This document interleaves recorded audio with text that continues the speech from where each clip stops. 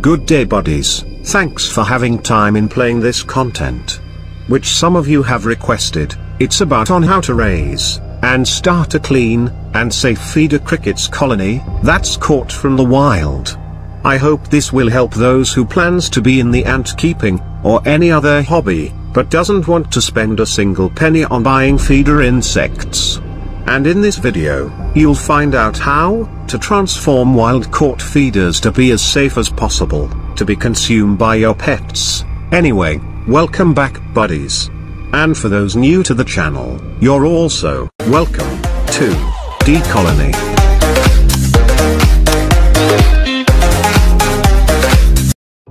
In one of our previous video, we used blacklight in catching queen ants. And along with them, I also caught some wild crickets, which we will be using in this video, to start a feeders colony. We caught about 80 pieces of crickets, but I put them on separate containers few weeks ago. As this was too small for all of them, I put half of them here. And since then, some had died as male used to fights, and also cricket's lifespan is quite short. It's only about 6 weeks after becoming an adult and depending on temperature, the hotter the temperature, the shorter their lifespan will be. Let's give them a fresh batch of food. I use chicken feed and some vegetables to hydrate and nourish them. Anyway, let's collect their eggs, as this one already stayed here for 10 days. And cricket's eggs will hatch in 14 days, so we better take it now, to isolate the baby crickets emerging here soon. We're also giving them a new nest, for them to lay their eggs. We just need a container filled with cocoa peat like this.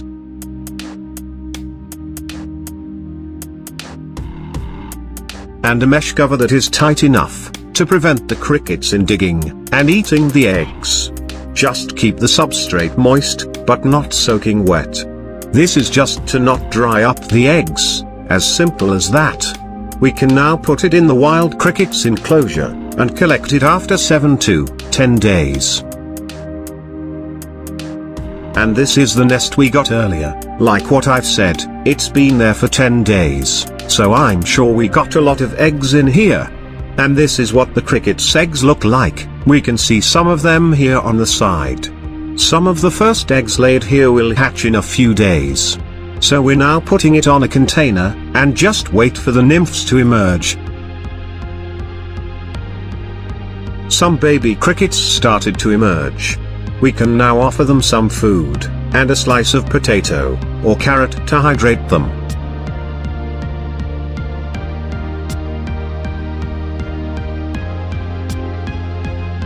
This seems a little dry so let's moisten it a bit.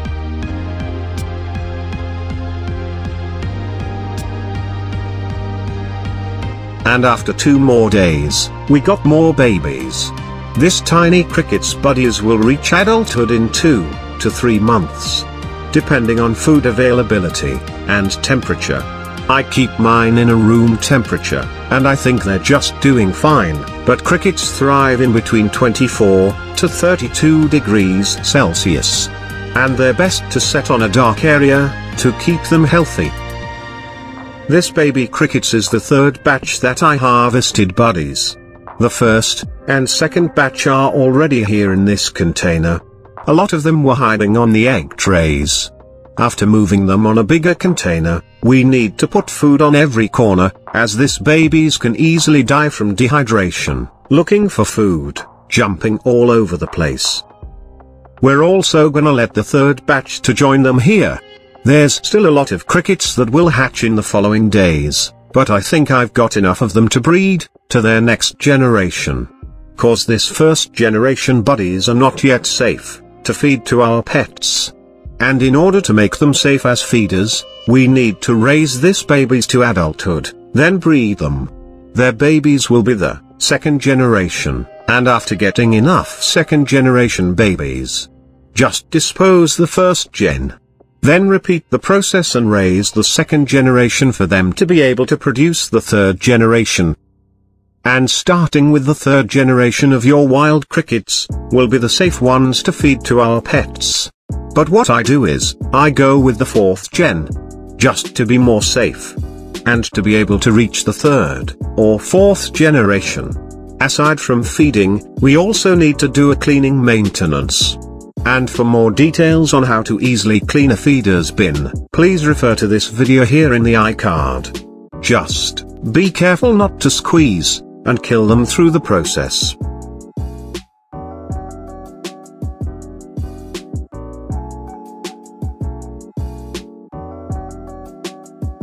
We're also gonna replace their old food. After reaching the third generation, we can now breed them all we want, to have a stable crickets colony. To take it to the third gen at least, we will take about 8 to 11 months. But the process will make your pet as safe as possible, as unhealthy, with pesticide, or with parasites, will not likely to survive in multiple generations. It's either your culture will fail, or eliminate them. This is like cleansing the wild caught feeders through the process. This crickets was actually in the second gen now. So I need one, or two more generations. Anyway, we can also use a test tube setup like this to hydrate them, if ever we ran out of fruits, or vegetables. And after another month, we're now having some adults over here. In a few weeks from now, all of this cricks will reach adulthood.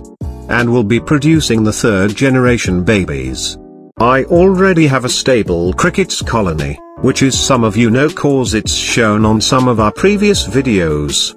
So what I'm going to do, in this new colony's third generation is, I'm gonna mix them with my current culture, to add more genetic diversity in the colony. I'm doing it, every year, or two for the said reason. I hope this video will be able to help you buddies, if ever you plan to catch, and raise your own feeder insects from the wild. Especially those who requested for this episode. And before we end this video, I would like to give a shout out to our buddy, and fellow ant keeper, cities ants. I wish you, and your ant colonies to have a great journey together. I just hope you have learned something from this video guys. Be a genie for the first time, by granting my wish and tapping the like and share button, that would help a lot. This is D Colony, saying goodbye. For now. But hoping to see you on my next videos.